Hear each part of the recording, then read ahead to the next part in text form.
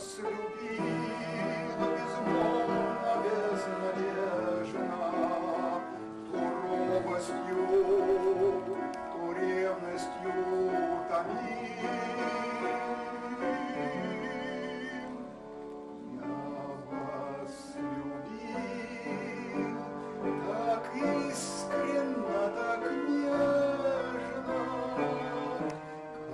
Дай вам Бог.